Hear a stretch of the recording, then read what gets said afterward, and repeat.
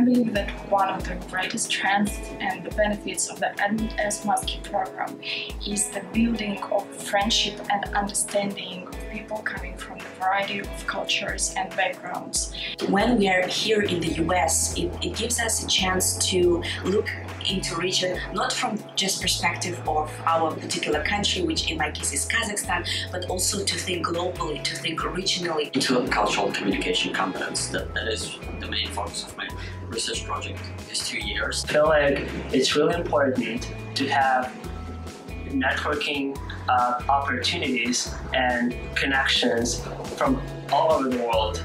I think working together on a global or local issue will definitely strengthen the ties between both American colleagues and people from Eastern Europe and Central Asia. I believe that such diverse approach will have the best outcome as well as enhance the mutual understanding between the countries. Меня зовут Алина Рафикова, я из России, и я являюсь стипендиатом программы Edmund S. Muskie. Я Андрій Светлов, я з України, я стипендіат програми Edmund S. Muskie. Salut Себе, меня зовут Майгера, я из Казахстана, и я являюсь стипендиантом программы Edmund Маски. Мене звати Анна Лисюк, я з України, і я є стипендіаткою програми Edmund S. Muskie. My name is I'm Uzbekistan Respublika and I am an Edmund S. Muskie intern.